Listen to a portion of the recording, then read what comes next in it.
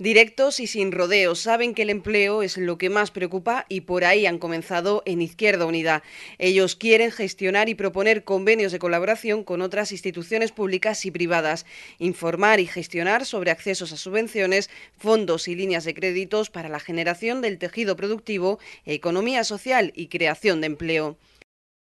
Sus propuestas de empleo la dividen en programas de desarrollo agrícola, empresarial, turismo, comercio, pesca, hacienda y gestión de ingresos. Dentro de estos apartados, los principales puntos de su programa de empleo pasan por la calidad, una oficina municipal de empleo como centro de formación, reciclaje y asesoramiento y orientación sociolaboral.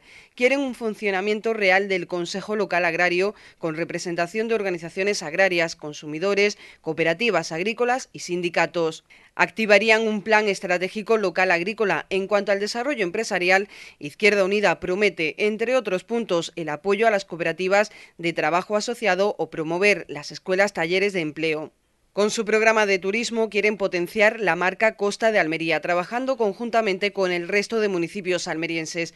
Formación del personal en el idioma alemán, inglés, francés o kioscos de información turística en las zonas de mayor afluencia. Hacienda, pesca y gestión de ingresos completan su programa de empleo que se puede presenciar en su web www.iualmería.org.